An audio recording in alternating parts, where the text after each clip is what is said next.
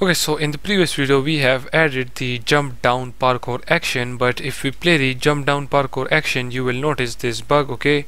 You can notice the jump down action is playing twice okay?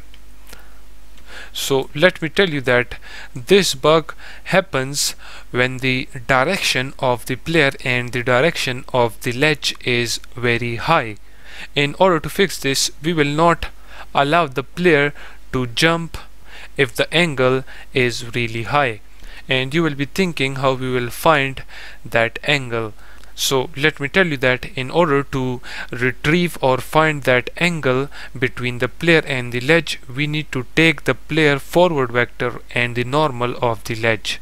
So with that let's first of all find the normal of the ledge. We can find the normal of the ledge by casting a ray from the ledge okay? For example if the player is standing right here okay then from this position in the forward direction we will cast a ray okay? And then that ray will simply give us the normal of the ledge okay? So let's first of all do that to find the normal of the ledge. So for that right here in the environment checker as you can see right here when we are checking for the ledge right here when we draw the ledge raycast okay after this let's create a variable by the name of surface ray cast origin. This will be equals to the transform dot position of the player then plus movement direction then minus new vector 3 now right here we will set the position for the array. So for the x we will pass 0 for the y we will pass for example 0 0.1 okay? And then for the z we will pass 0 as well.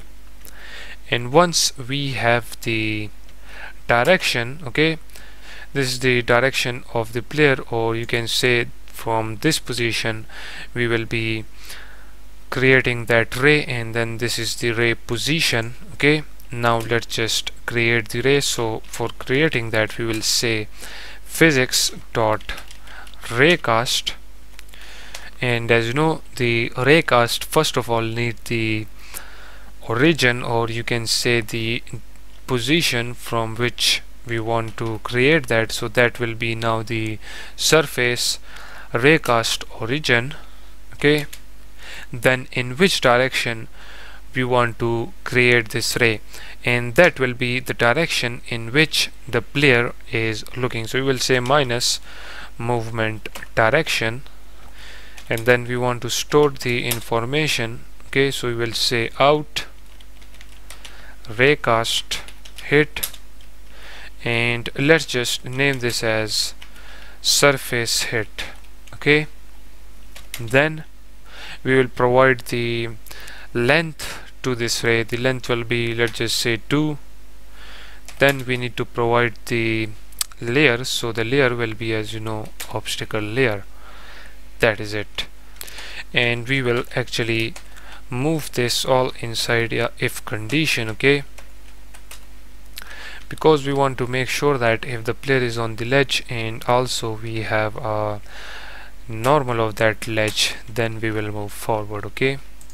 We just want to make sure right here. So that's why we added a if condition and then inside that if we are creating this array. So now what this is doing is basically this is giving that angle which we needed okay? And as you know that angle is between the player and the ledge okay? So now right here we will say that inside this if condition if the ledge height is greater than the threshold then what we will do? We will say vector 3 dot angle. And right here we will give the transform dot forward. Because as I told you in order to retrieve the angle between the player and the ledge we need to take the player forward vector and the normal of the ledge. So this is the player forward vector. Okay we can retrieve that by transform dot forward and now we need to give the normal of the ledge. So we will just simply say surface hit dot normal. That is it now in order to retrieve this angle from this function we need to add a or create a struct for this. So after this obstacle info we will say public struct. And in this as I told you we will store the angle okay? We will retrieve it from there and save it in a variable inside this struct.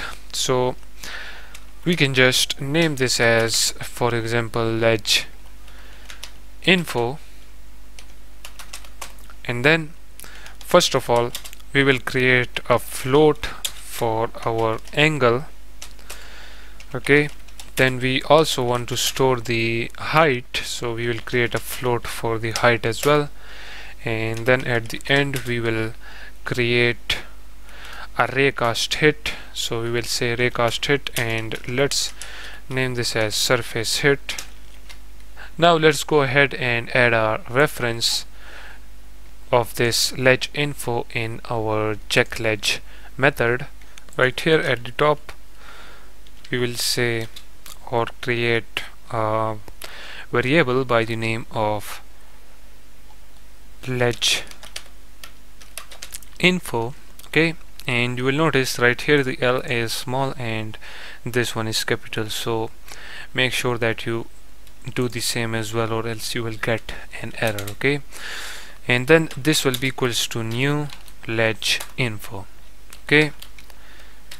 Then as you can see we have a float for the angle. So let's assign this angle to this. So right here we will say let me actually give space so it can give us the recommendations. So ledge info dot angle will be equals to this okay?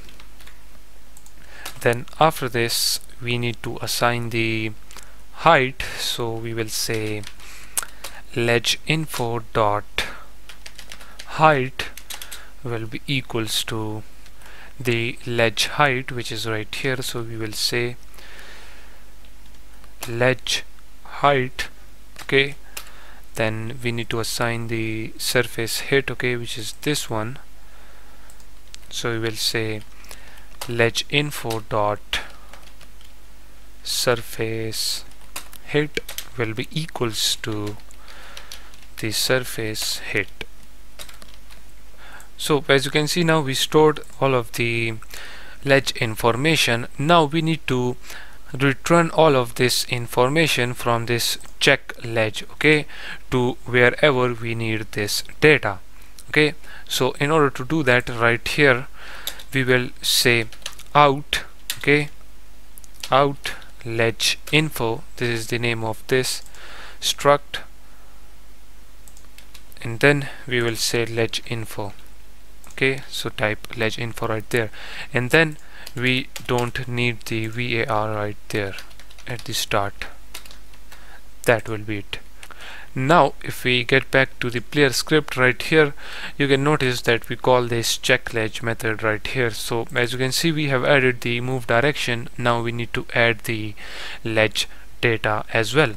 So first of all let's go ahead and create a property for our ledge data. So right here after this player on ledge property we will say public ledge info okay? And we can name this as ledge info as well. And we will say get set that is it. Now if we scroll down when we are on the ledge or you can say when the player is on the ledge we will set the ledge info okay? Returned by the check ledge function okay? So first of all right here let's say out okay? Then ledge info and ledge info okay? Then right here we will say ledge info equals to ledge info now if we get back to the parkour controller right here when we are performing the jump down parkour action okay? Right here now we will check the angle between the player and the ledge okay? So we will say that if the player script dot ledge info dot angle is less than or equals to 50 then what we will do we will simply perform the jump down parkour action okay? If the angle of the ledge is less than or equals to 50 and if it is not then we will not perform this parkour action okay? If we open up the environment checker okay? Right here make sure that you remove these brackets from this struct because the struct doesn't contain these brackets okay? Just as we did right here we need to do the same for the ledge info as well. Now if we save this get back to unity okay? We have this error which says that player script does not contain a definition for ledge info. So if we check our parkour control script. Right here in the if condition we use this ledge info okay the L is small. We actually need to type ledge in capital okay because that is what we name in our player script okay? Now if we just save that get back to unity okay? Now as you can see the error is gone. If we click on player everything is attached and we are ready to test it and before testing this okay what we need to do first of all is click on this animator. And right here as you can see we have this jump down animation. If we play it as you can see the player take this step first of all. So we actually don't want that. So we need to trim this a little bit more to for example 35 okay then we will be having just this jump okay? So if you click on apply okay that is it. So this will be now the animation. Okay let me show it to you again. Just cut it from the start to 35 and the end will be 48 okay?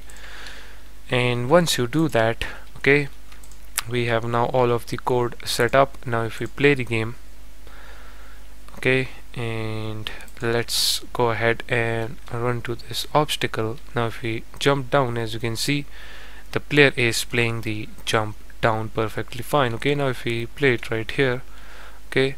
As you can see it is playing the jump down animation.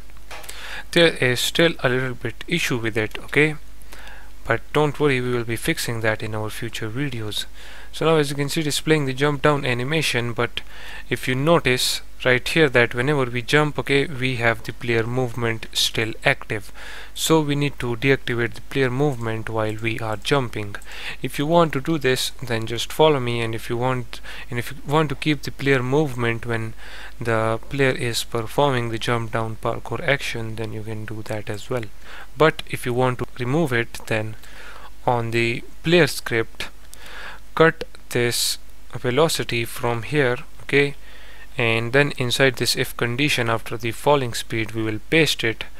And then outside this if condition we will define the velocity. So we will say var velocity equals to vector 3.0 okay? So that we can access this velocity from anywhere then.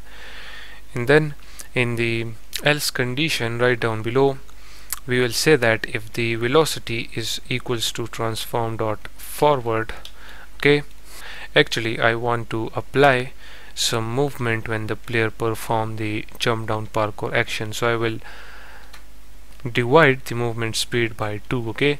So whenever the player perform the jump down parkour action we will add some speed to it so that it perform the parkour action a little bit forward from the position of the obstacle okay? So make sure that you do this as well.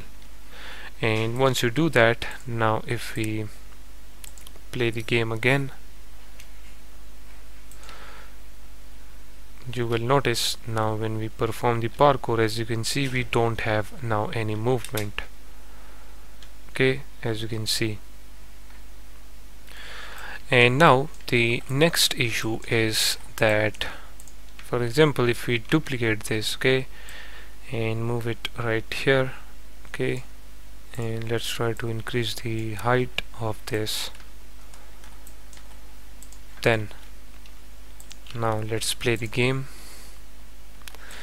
Okay now if we try to jump on this and now when we get right there as you can see it consider this as a edge okay? When we actually don't want this okay? We want that if there is something in front of the player then we don't want to perform jump down action. On the parkour controller script what we will do we will move this outside of the if condition okay? Let's paste it right there.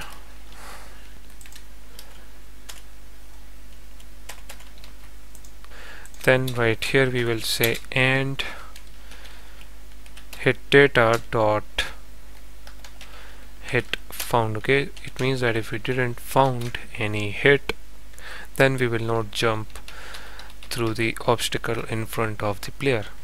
So now if we save this and get back to unity now let me minimize that okay? And now if we play the game again you will notice now that when we get in front of it now as you can see it is not performing the jump down par parkour action anymore as you can see okay? It can only perform it right here that is it.